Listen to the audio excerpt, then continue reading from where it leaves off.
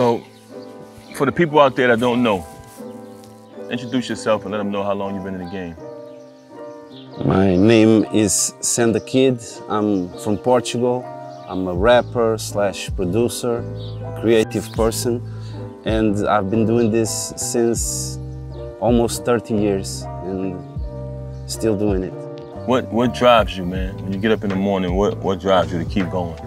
To me, it's natural. It's, it's just something that comes out daily because I feel like I'm a sponge all of the time. I never switch off the creative button. So even when I'm on the bed, I'm thinking about the tomorrow ideas, and there's always something to do, albums to make with some other artists. So there's always something to do. There, there, there is not a day that I'm like, I have nothing to do. No, there's always a beat, always a rhyme. I have a few uh, ways of showing my my creati- my creativity. Right. If you look at hip hop, right, it's a very few who are able to be an MC and be a producer at the same time and be good at it. You know, even when Kanye first started, a lot of his peers, a lot of people was telling him stick to producing. You know what I'm saying? What do you credit that to that you were able to walk the fine line and balance both? To me, making beats was uh, a necessity for the MC in me. Uh, I wanted to be a, rapper. I wanted to make songs, and I didn't know nobody who made beats in my area. I didn't have friends in, in, the, in those times. Nowadays, everybody makes beats.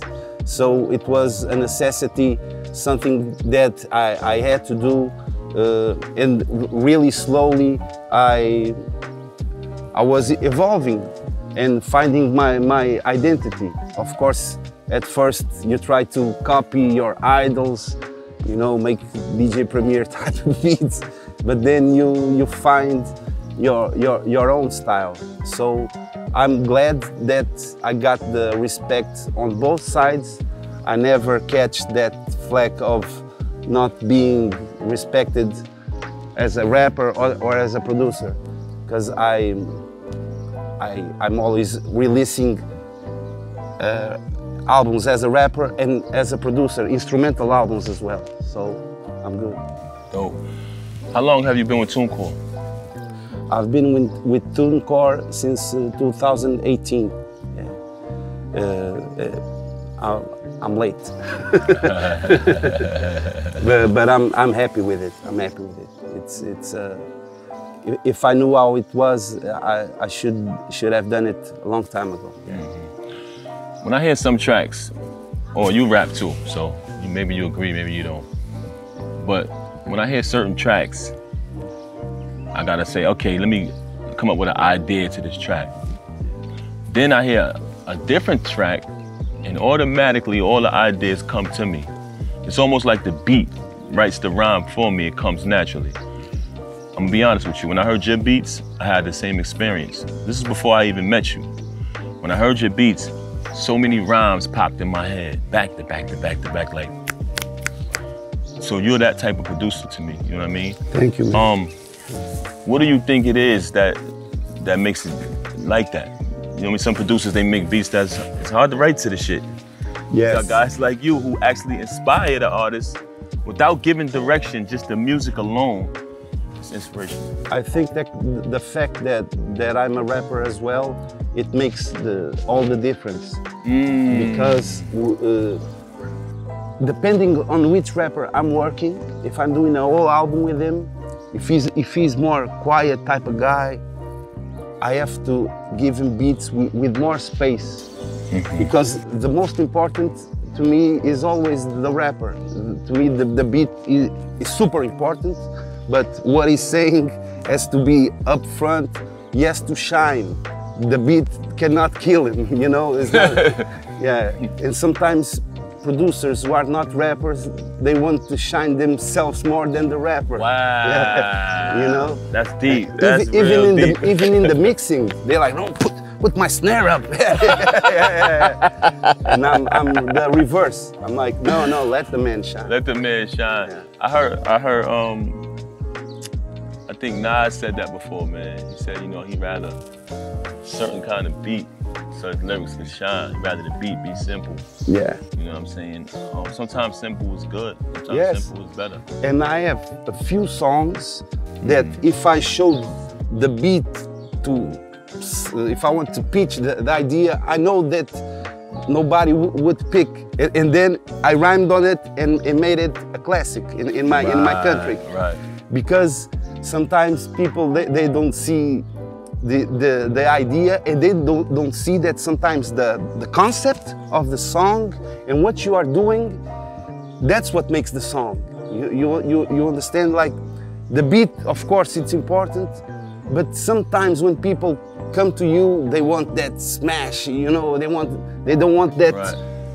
that album cut, the number seven song, you know, the, that, and that is important as, as Very, well. very important. Yeah. Sometimes nowadays, man, that number seven cut is what gravitates people to your project. Yeah. That's that's the one that catches people attention. You know what I'm saying? Yeah, I think everybody's searching for a certain kind of record. Sometimes you just gotta be yourself, you know.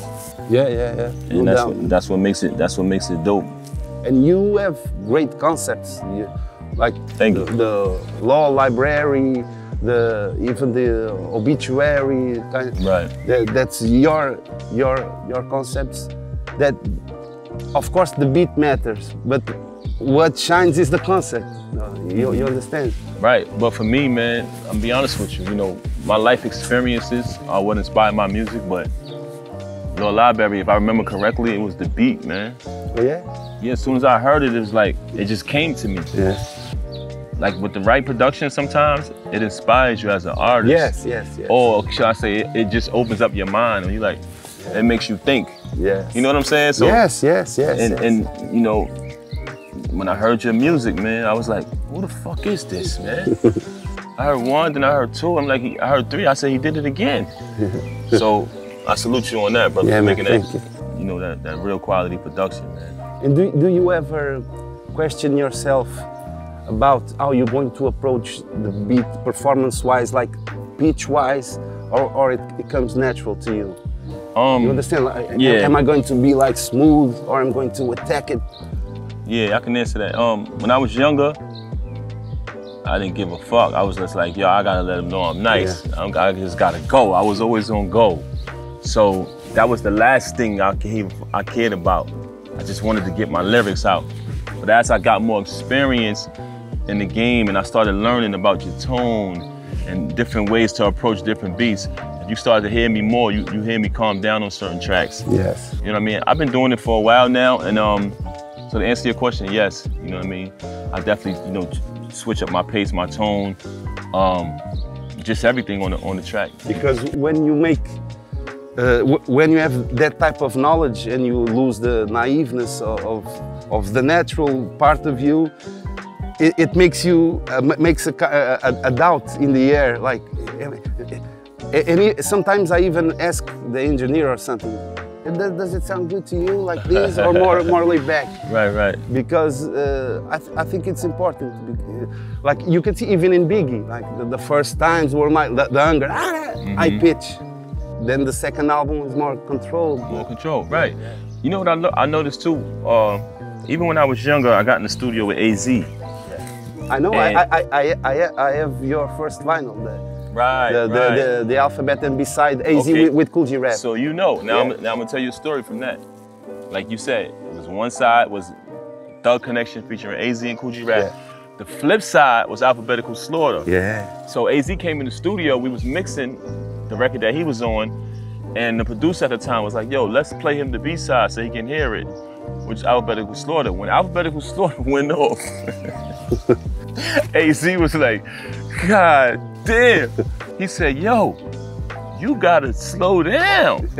He said, yo, they like babies, man. You gotta give it to them slow.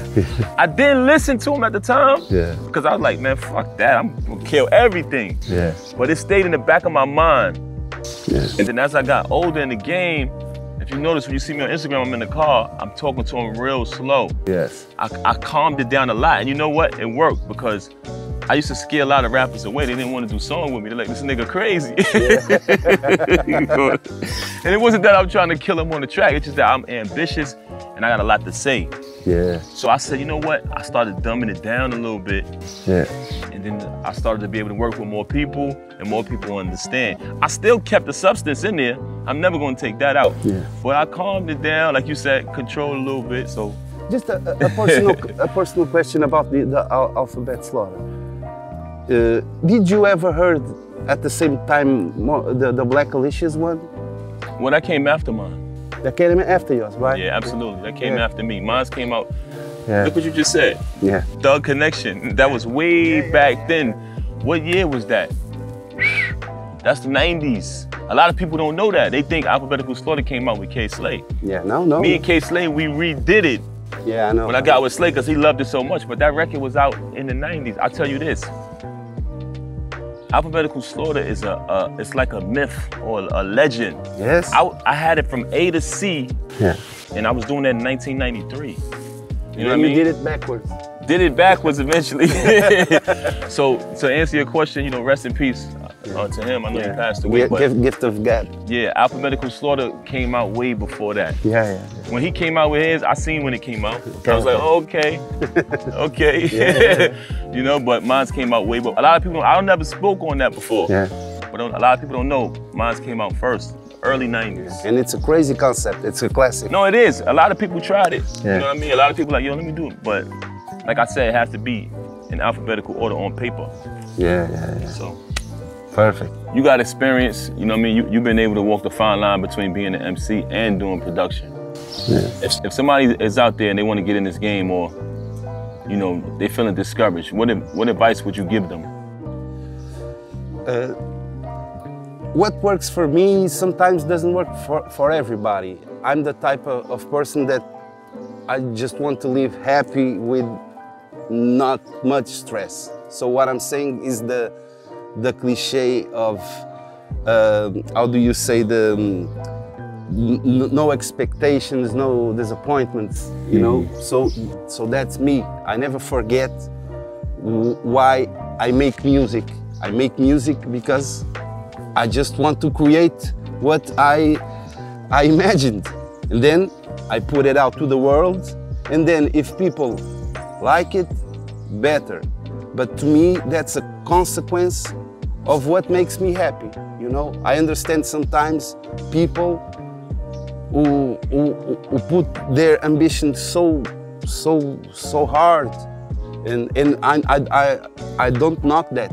It's to each his own. But I see what the aftermath of that when people are really disappointed and all, all, all, almost depressed because their plan didn't go as, as they wished. So f- for me, it's like just do your music and eventually, if you believe in it, it can, it can grow and, and appreciate the small steps. It's beautiful just to you know, sometimes people want the elevator. I want a, what, what he has. Okay, No, but he's there, but he maybe he was step by step. And now nowadays, lots of young people they they have that hunger. The, the, they want the the quick success, and to me, that I, I, I went from step by step. I feel that it's so much uh, you feel so much better because of, of all the, the struggle that you had to to to, to get where, where you went. Right. It's, it's really that's so that's my advice. Take it slow, take it easy. Don't don't lose your your, your ambition, but Right. just stay focused and do what makes you happy. You know? No doubt. I like one of the things you said, man. You said some of the things that, that, I- that I imagine. You know what I mean? I put it in my music. I like that because, um, you know, I hear some people say, you know, these artists, you know, they talk about, they rap about things that they don't live or they rap. Let me explain something to you. I come from the struggle, I come from the ghetto, I come from the hard times. I've been through all of that. I speak about my experiences without a doubt. But I don't knock a person who does who have who hasn't came from where I came from. Yeah. and they they speak about different things. I think part of what's wrong with the craft today is that they put artists in a box and say, "Oh, talk about your life." No, it's okay to use your imagination. The cre- it's called creativity. it's called being creative, Yeah. and I think people don't pay attention to the craft enough Yeah. to the point where they allow artists to be artistic and be creative. Yeah. Yes. It's, you don't only have to talk about everyone hasn't everyone didn't come from where you came from as a person so you can't expect them oh you didn't live this life you rapping about my life no idiot when you watch a movie Yeah. steven spielberg all of these other great guys out here whoever creating these, these these movies you think these guys live these things no but they they have great imaginations Yes. and i think part of what's happened to the craft of hip-hop is we keep putting artists in a box yeah. see, with me, this is why they had a, a lot of them guys had a problem with me because they could never come to me and say, "Oh, you didn't live this." No, you can't come to me. I'm, I'm from that. I come from the street. I come from the ghetto, but also I respect the craft. Yes. So I can do the creativity and I can walk the fine line of talking about real experiences that I've been through. But I feel like some some individuals, man, we gotta stop putting artists in a box. Allow them to use their imaginations. There's nothing wrong with that. Yeah. Be creative, and that's where you get some of the best content from. Yes, yes. So, th- that's that that what, what we were talking about the the, the concept. Sometimes a, a simple concept, like I have songs like oh I have I produced an album with the, the group in Portugal. It's um, an a, anatomy. It's all parts of the, the body, and the, and the song that I am with him uh, with them is called Body. So the, the concept is rhyming with body parts that have expressions, and then you can sh- uh, show your opinion on something as well. Exactly. Uh, it- that's a simple one. It's a creativity you can. Yes, yes. Nothing wrong with being creative, man. All artists out there, man. Be creative. Don't let no one feel, make you feel like, you know, if you didn't make millions and millions of dollars, you can't rap about money. Yeah. You might talk about currency in a way that might inspire others to want to get money just because Yeah. off of your creativity. Yes. So yes. allow artists to be creative, and, and I appreciate you for, for saying that, man, because I, I see that a lot in hip hop, and I, I just want to send that message out there to the young artists: be creative, be innovative. Yeah. You know, don't let no one f- make you feel like you got to be from a certain neighborhood or anything. Yeah. Nah, take Yeah. those pictures. Yeah. You know, and be prolific. I, I love that, man. Yeah. Word. Word.